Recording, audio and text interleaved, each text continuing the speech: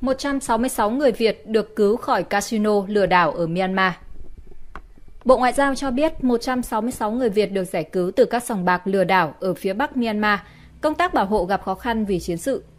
Về tình hình người Việt được giải cứu từ các sòng bạc lừa đảo ở Myanmar, cho đến nay đã xác định được 166 công dân Việt Nam trong số người nước ngoài được giải cứu. Những người này đã được đưa về khu vực an toàn ở biên giới phía Bắc Myanmar, giáp với Trung Quốc. Người phát ngôn Bộ Ngoại giao Phạm Thu Hằng cho biết khi trả lời câu hỏi của phóng viên tại cuộc họp báo thường kỳ hôm nay, bà Hằng cho biết khu vực biên giới phía Bắc cùng một số nơi khác ở Myanmar, trong đó có bang Kayin đang xảy ra giao tranh và gây khó khăn cho việc tiếp cận bảo hộ công dân.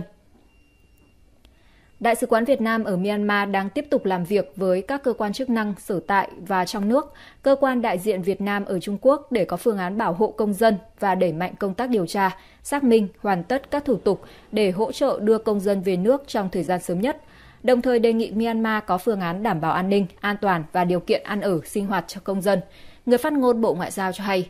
Bộ Ngoại giao khuyến cáo công dân Việt Nam không nên hoặc là tránh đến khu vực Bang San và Kayin của Myanmar nếu không thực sự cần thiết. Công dân đang ở hai bang này cần nhanh chóng có phương án chủ động sơ tán an toàn người và tài sản đến nước thứ ba hoặc về Việt Nam.